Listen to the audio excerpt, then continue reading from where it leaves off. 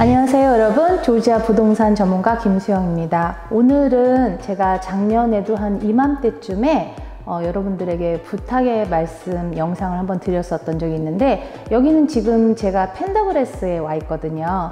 어, 아시다시피 저희 회사 월스포인 리얼티가 그 우리 자랑스러운 SK 배러리 그 하우징 담당으로서 구매와 그 렌트 그리고 관리까지 하고 있는데 지금 많은 SK 배터리 임직원분들과 기술자분들이 어, 비자를 받는 대로 속속 많이들 오고 계세요.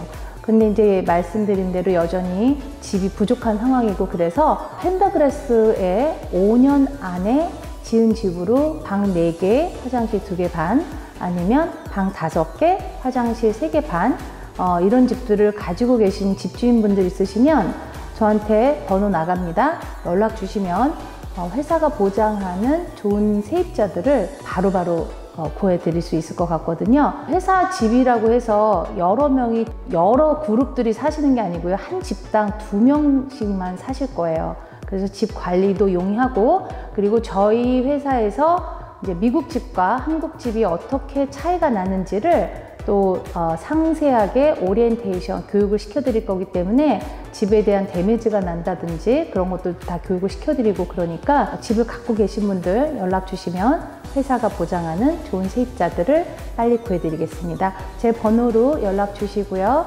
앞으로 더 호응해 주시고 어, 많이 격려해 주세요. 감사합니다. 안녕히 계세요.